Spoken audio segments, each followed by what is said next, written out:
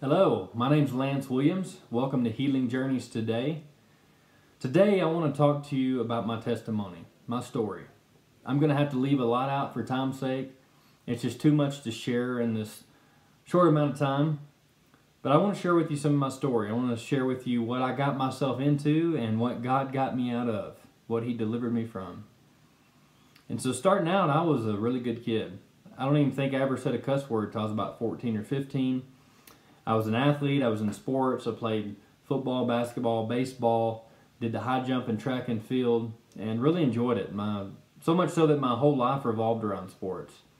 When I wasn't playing it, I was watching it, uh, and I still like sports today. But at that point in my life, it was too much. It had too much of a place in my life. My whole life revolved around sports. And whatever your life revolves around, that becomes a God to you. It becomes an idol. That's what the Bible calls idolatry. And my life revolved around sports. Sports was my God. It's a false God. It's a it's my my identity was in that. And when our identity is anything but Jesus, but the Lord Jesus Christ, it's it's not good. Even if society says it's says it's acceptable because sports is acceptable. A lot of people like sports, and there's nothing wrong with sports in its proper proper place. But in my life, it was my God. Now I didn't see it like that at the time, but God revealed that to me later on. And since my identity was in sports, when sports failed me, then it shook me. It, it shook me to my core. It cracked my foundation. And when I was 15 years old, um, the doctors had diagnosed me with Crohn's disease. And I want to say it now because a lot of times my intentions are to say that and to tell later later on in the story uh, how God healed me. And, and I may say that, but just in case I forget, uh, or get off on something else, then I just want to communicate right now that I have been totally healed of Crohn's disease. God has totally set me free. The doctor said I'd have to have surgery over two to five years. Uh, that I they put all these regulations on what I can eat, what I can't eat. And but when I came to the Lord Jesus and got in His Word, I realized that the Bible, God's Word doesn't say I have to be sick. God's Word doesn't say I have to have Crohn's disease. God's Word doesn't put all these regulations on what I can eat and what I can't eat. Matter of fact, it's it's the opposite. God's word says that by the wounds of Jesus I have been healed. It says that Jesus took my illnesses and bore my diseases. I said, that's me right there. And really, I just forgot about it. I forgot about the disease that the doctor said I had. And I've been totally healed. I've been totally delivered. Hadn't had any problems, and that's been over 10 years now coming up on 11 years and no issues because God has totally healed me.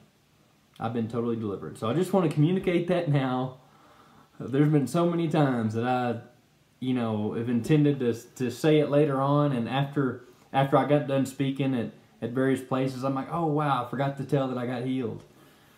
So anyway, so I've learned to just say it while I'm thinking about it.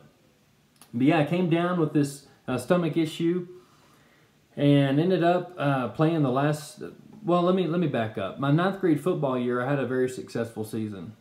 Uh, with that came a, a lot of positive attention, and it felt good. It was nice uh, having that attention for my success on the field. And but the reason I even had the success to begin with is because I sought God to prosper me in that area. I used to pray and just ask God to prosper me in football, to, to cause me to succeed, and I'd say He did just that. My ninth grade football season, it was just miraculous. It was I actually, I actually had played beyond my ability, and it was it was totally God. And it's it's cool to to share how He done that, but right now I don't I don't have time to do that. Uh, but he, he just caused me to succeed. But with the, the last two football games, I played with a knot on my side. And later found out it was my intestines were swelling up and they eventually swelled shut and nothing could get through my intestines. I ended up having to have emergency surgery. I think it was the day after Christmas because I got sick on Christmas Day, woke up just throwing up, couldn't keep anything down. And the day after Christmas, had emergency surgery. They took out four inches of my colon. Uh, didn't didn't get to eat for 21 days that time. And I wish I would have known about fasting then. I would have dedicated that to the Lord, but I didn't didn't really know about fasting. Went 21 days without eating, had a tube in almost every hole in my body. It was it was bad. Uh, it, lost a lot of weight. Couldn't, like I said, couldn't eat. Um, it was a bad ordeal and I couldn't couldn't play sports for a while. Even after I healed up, I couldn't play sports for quite a while after that, and I didn't know who I was. Like I said, it shook me to my core. It cracked my foundation, and I didn't realize it then, but I didn't know what to do with myself. And before the, I had uh, butterfly stitches. After they took out the other stitches, I had butterfly stitches, and and well, see, they took out the the hard stitches, and then I if I remember right. And anyway, I had these butterfly stitches on my stomach, and before I ever got them off, I I got in a fist fight, and which was just stupid because I could have split that open. Bad ordeal. Shouldn't have done that. But I got in a fist fight. I started drinking, started smoking marijuana. It eventually led to anabolic steroids, trying to get big and stuff. So because I started doing these drugs, I started developing this other lifestyle. Later on, when I started to play sports, I didn't leave this other lifestyle behind.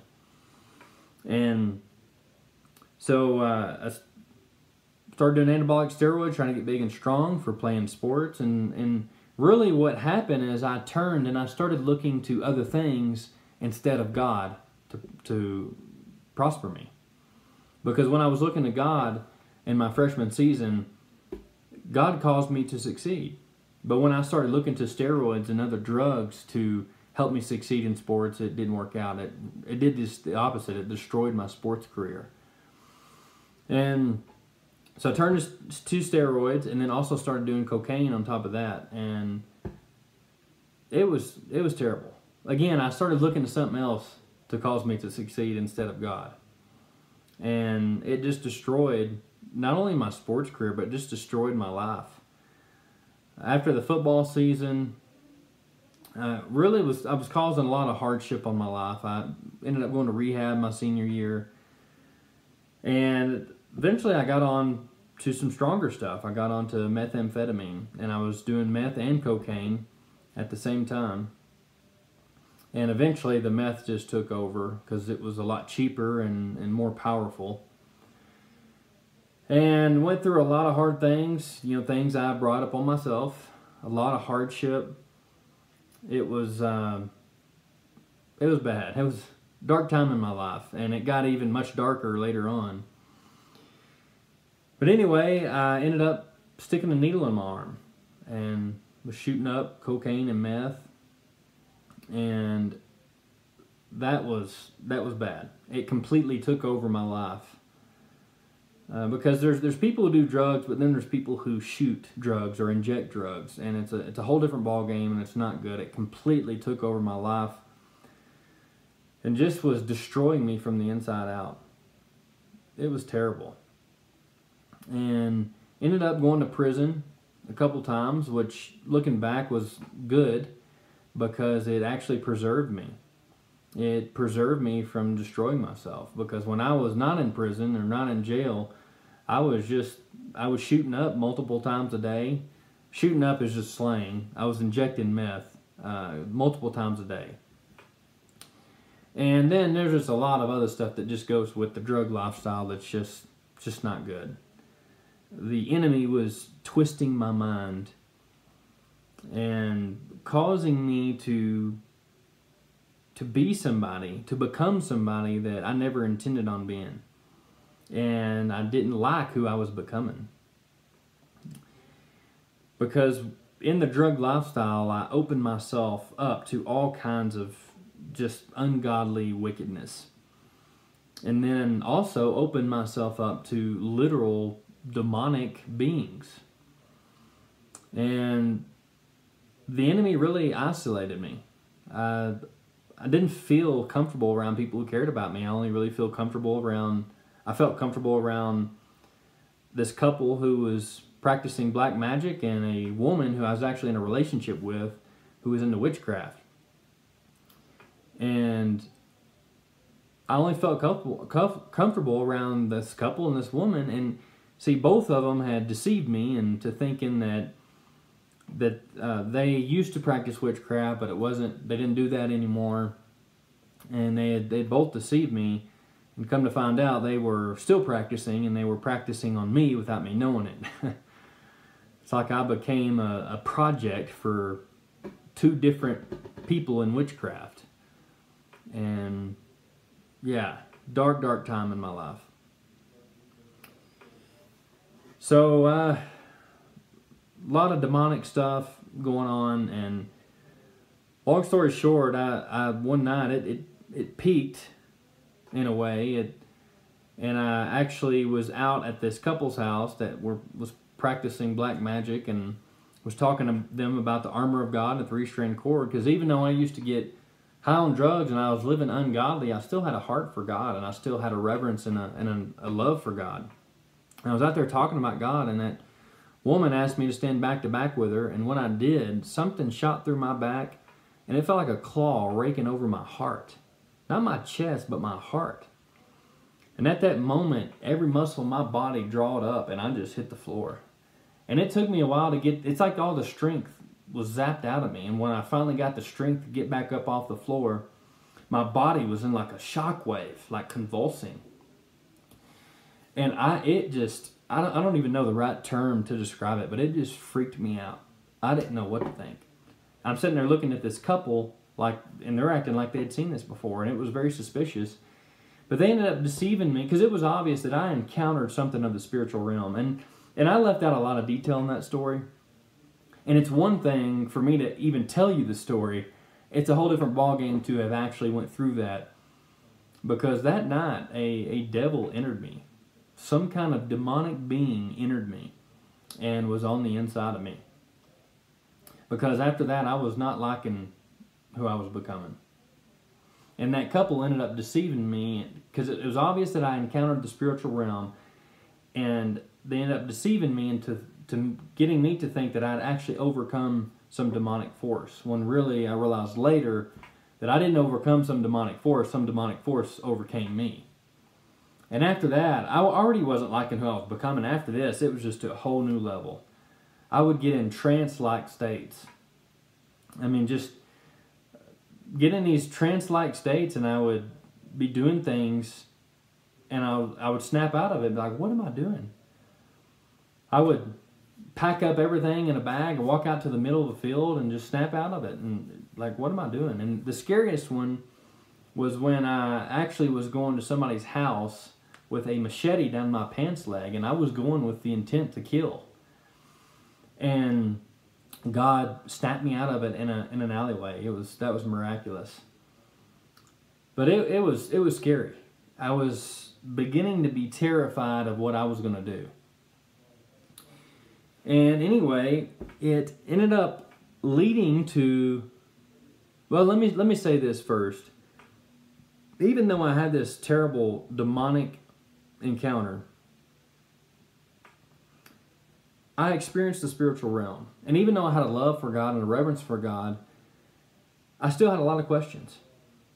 And at that time in my life, I was asking God questions like, God, are you, do you really exist? you know, I know to me now that seems just so stupid. I mean, it's it's very obvious that he exists. But at that time in my life, I believed that he existed, but I was like, I just had questions.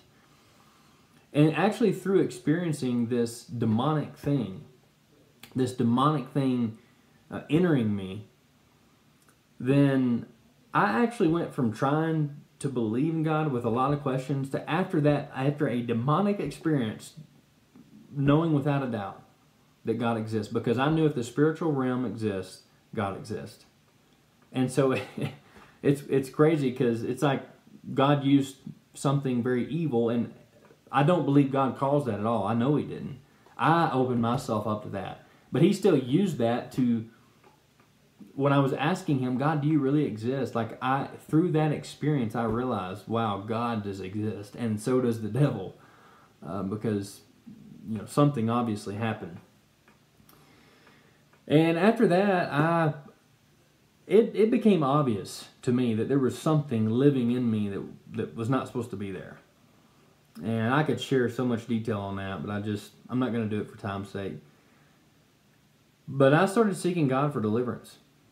And I didn't even really know much about deliverance. But I started seeking God, God, I there is something going on here. And I need this thing out of me. I need delivered. And long story short, I had been wanting to talk to this certain man for, three years because people told me when I would tell people surface level things, people just think I was crazy. But there were several people who told me, hey, you need to talk to this guy because this certain guy, he had he had some similar experiences and gave his life to Jesus. He was one of the biggest drug dealers in town and he had a lot of spiritual encounters. And I was just seeking somebody to understand. And nobody really understood where I was at. But so several people said, You need to talk to this guy. And it was three years I was wanting to talk to him. Now, there was not a devil in me for three years, but I was having demonic, uh, demonic activity in my life for over three years. Uh, the devil was in me, the, the demon was in me for less than a year. It was, you know, probably four, five, six months. Probably four or five months, I'd say. But before that, like I said, I was having all this this activity, this demon demonic activity, and so I wanted to talk to this guy, and uh, never never could. People said they knew him, but people couldn't introduce me because he didn't hang out with those people anymore. He, he changed his life. But anyway, long story short, I ended up getting introduced to him at a grocery store, and he invited me over to his house. And it was interesting because God introduced me to this man I know and he actually used that woman who was in witchcraft that was that had a, a evil intentions for me used her to introduce me because she knew him uh, from years before so it's cool how even god used the uh, people people that was not for me god even used them like like chess pieces in a way to to introduce me to this guy and met this guy he invited me over to his home when i walked into his home i felt a peace i was not familiar with and he later told me he prayed over the home and anointed the home. And we're talking, and I tell him what's going on, and he understood. He understood completely. Told me some stories that he had had, and I was like, finally, someone who understands where I'm at. And he ended up. We had a great conversation. He prayed for me to be delivered, prophesied over me that I would be filled with the Holy Spirit, speak with other tongues, be delivered. I didn't even know what being filled with the Holy Spirit, speaking with tongues, was. But he invited me to his church. And every Sunday morning, Sunday night, Wednesday night, I'd try to go, and something would keep me from going. Either I'd be too high, or that woman would talk me out of it, or something. But one Sunday night rolled around, I was like, I am going, and nothing is stopping me. Nothing is stopping me. And I remember I, I went to that church and that woman tried to talk me out of it, and I looked, but I looked at her very intently. I was like, "Look, I'm going tonight. You can stay here. You can go with me." And I went, and when I walk into the church, I lock eyes with this guy from a distance, and he stops the conversation he's in, and he walks over to me, and he's he's looking at me, and I, it's really hard to explain, but when he was looking at me, it's like that beast in me, that that demonic being on the inside of me, knew that this guy could see him. And I believe God was giving that man the discernment of spirits in that moment. But he ended up praying for me to be delivered. And I sat down uh, at the back of the church, not the very last row, but at, you know, near the back. And uh, I'm trying to think where, I'm trying to think what all I can share because I need to keep it to a certain time limit here. But I sit down at the back of the church, like I said, near the back, not the very last row. And this preacher gets up, we go through worship, and this preacher gets up there and he starts preaching, expect change, expect change. And something in me was like, he's, he's talking to me. But at this time, I this demon started manifesting. I remember my face changing and just, I could, it was just obvious. And I, I was scared of what was about to happen. I almost walked out of the church, but I stayed there. This demon literally manifested in the service. And I got up during the middle of this church service and I took off running toward this preacher. And it, it wasn't an altar call. I was going with, with bad intent. And several guys grabbed me up and I was just dragging all these guys across the church. Like they, I mean, several guys, and it, it wasn't even a match for this, the strength of this demon in me. But then the church circled around me and they start praying in a weird language I thought then, and I now know it to be tongues. And when they were praying over me in tongues, this beast in me lost all of its strength to where this I was dragging people across the church, several guys at one time. Now I didn't even have the strength to stand up. And I remember sitting down in this chair and this woman saying, Jesus is here, Jesus is here. And it's like the wall of the church just disappeared, and I entered into the spiritual realm. And this great light got out, it, it, this great light come out of the sky, and it came over me, and it started raining on me.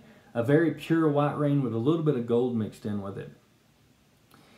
And at this time, I remember at some point during this telling the Lord, I want to be free from this. I want to be free from this.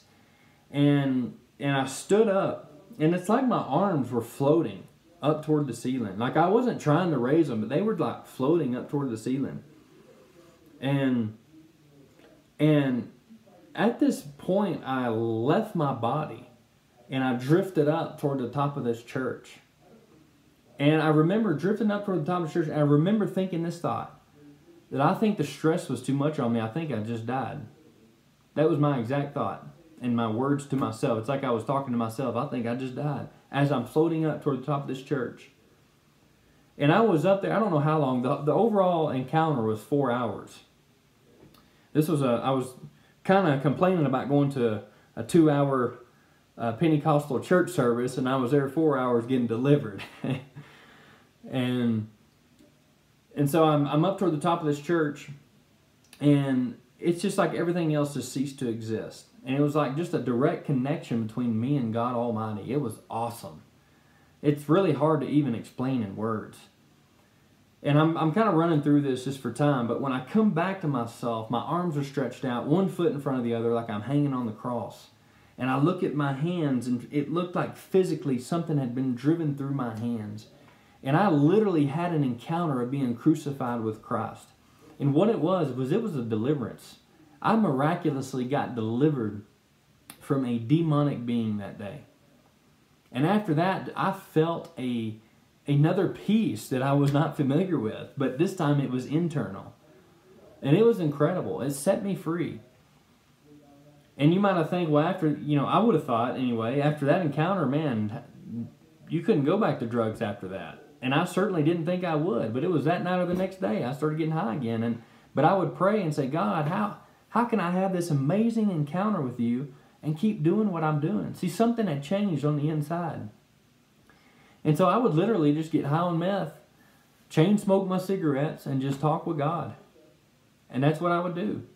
Before I'd get high and do all kinds of crazy stuff, but now I would just get high and talk with God.